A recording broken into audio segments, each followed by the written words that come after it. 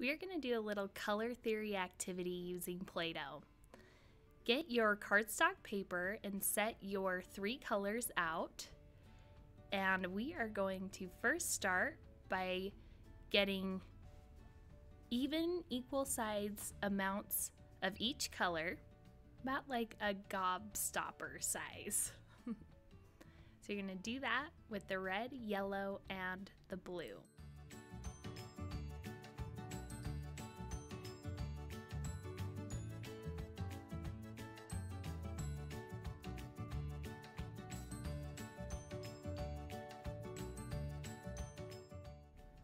So you're gonna do two of each color and make sure that they are all the same size. So that way we can get the colors to mix evenly.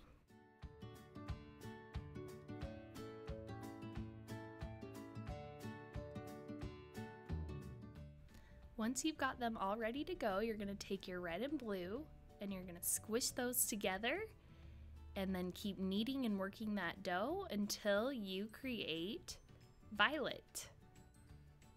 So red and blue make violet, and as you can see, it is transforming before your eyes. Next, we're gonna take blue and yellow. You're gonna squish those together and keep kneading and working that dough until you get green. So blue and yellow make green. And then you're gonna take a yellow and a red, and you're gonna work those in together and mix them really, really well. And you're gonna create orange. So red and yellow make orange. So you've created the secondary colors. Now you're going to take a pea size amount of each secondary color, two pea size amounts,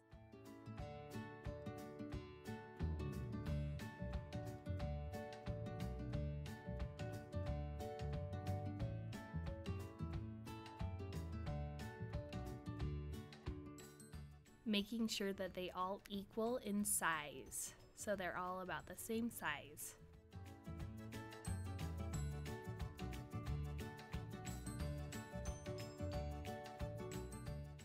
Once you have those all rolled out, then you're gonna take the same amount from your primary color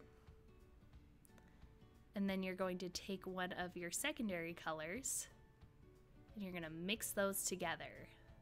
So green and blue make blue green. That is a tertiary color. Then we're gonna move on and get a pea size amount of yellow. We're gonna mix yellow and green to create yellow green, and that is also a tertiary color.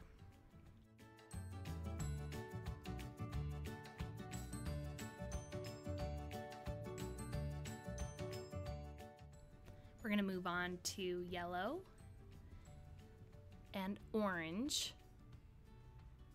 We are gonna mix a yellow and an orange together to create yellow orange. And that is also our tertiary color.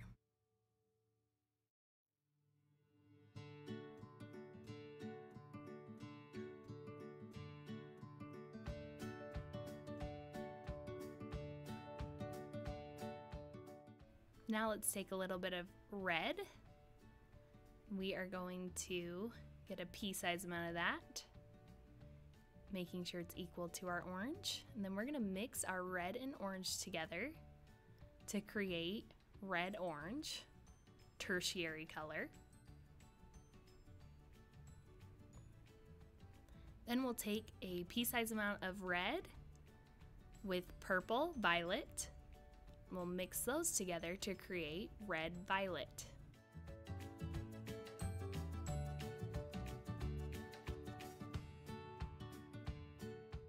And then moving on to blue, pea-sized amount of blue. Mixing that together with violet to create blue violet.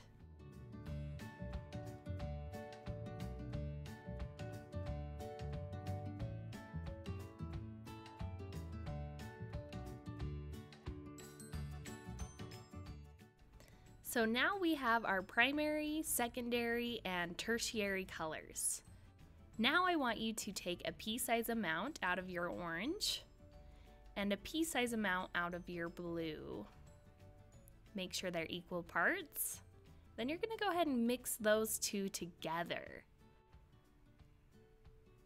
Orange and blue are complementary colors. And in hair coloring, we will use blue or orange to neutralize the other out.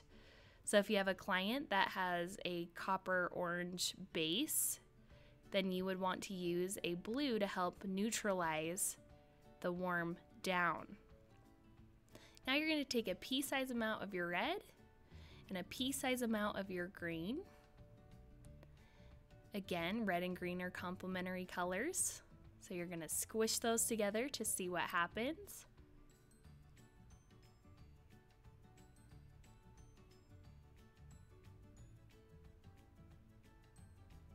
Excellent. There's our neutralized red. And then we are going to take a pea-sized amount of yellow. And then a pea-sized amount of, you guessed it, violet. And we're going to mix those together. Violet and yellow are complementary colors as well. So when you have a client that has a yellow base to their hair, you can use purple to neutralize it. What is really common is purple shampoo to help maintain blonde and to keep it a nice, cool color. So that is how our neutralized primary colors look. Now we're gonna take equal parts red, yellow, and blue. And we're gonna see what happens when we mix all three equal parts of red, yellow, and blue. Now, with this Play-Doh, it is not true pigment. It's not dark enough pigmented. Normally, what you would get when you mix all three primary colors together is a gray color. With our Play-Doh, because the pigmentation isn't perfect, it's gonna look a little bit like a gray-green color. So that's what happens when you take equal amounts of red, yellow, and blue. Now we're gonna show you the UHF. So you're going to take three pea-sized amounts of yellow, you're going to put that over in the corner of your paper.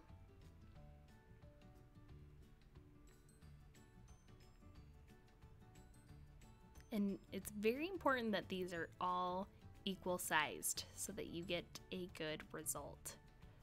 Then you're going to get two pea sized amounts of red and then one amount of blue. This is what we call the UHF or the Universal Hair Color Formula. It creates a level 6N that is universal across the board. So, hair color companies use this formulation when they are creating a level 6N. So, with the right pigmentation, it should look like a nice medium brown color. This kind of turned out a little more like a brown green color, which is fine. Still gives you a little bit of an idea. I do have this color that I got with a darker blue Play-Doh. And unfortunately, that wasn't as readily available, so we are using the lighter one for this activity. And there you have it. There's my completed color wheel. So make yours look like mine by labeling it and submitting it on Canvas.